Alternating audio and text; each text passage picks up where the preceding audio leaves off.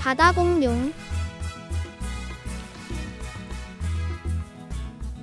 리오 플레우로도는 티라노사우루스보다 강한 이빨 가진 파충류 프로가노테리스 최초의 거북이란 뜻으로 가장 오래된 거북이며 모든 거북의 조상이다.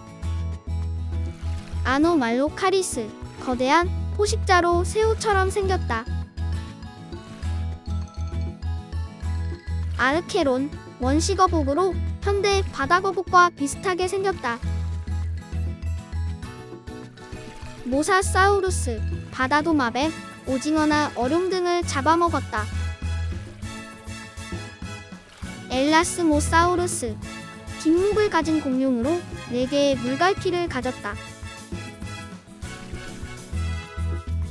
유리테로스 거대한 바다 전갈 클리다스테스 클리스의 열쇠라는 뜻으로 바다파충류이다.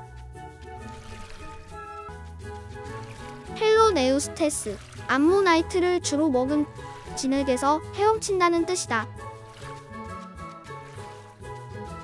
믹소사우루스 가장 원시적인 어룡 상어와 비슷하게 생겼다.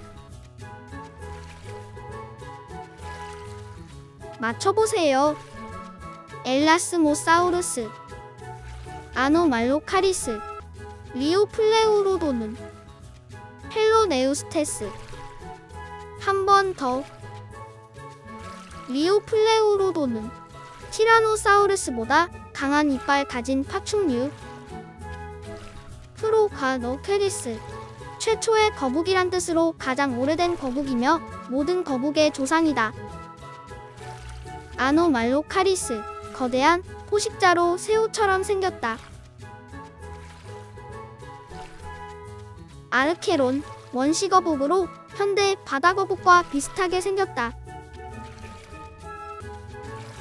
모사사우루스 바다도마뱀 오징어나 어룡 등을 잡아먹었다.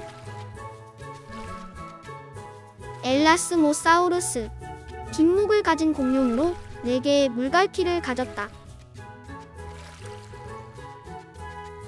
유리테로스 거대한 바다 전갈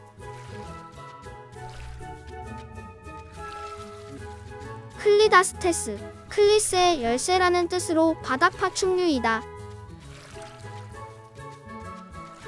헬로네우스테스 암모나이트를 주로 먹은 진흙에서 헤엄친다는 뜻이다.